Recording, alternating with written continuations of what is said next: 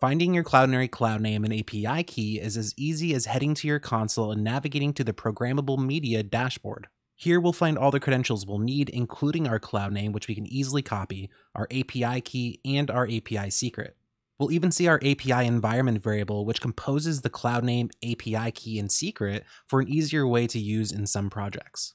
If you need to manage your API keys and secrets further, you can head to the settings page, where under security, you can scroll down until you reach your API keys, where you can disable existing keys or generate a new pair.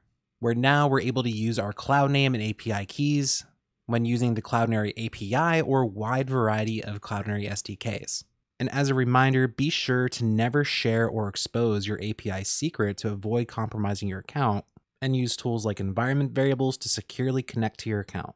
So, in review, in order to find your cloud name and credentials, head over to the Programmable Media dashboard where you can find your cloud name, API key, API secret, and API environment variable to get set up with Cloudinary.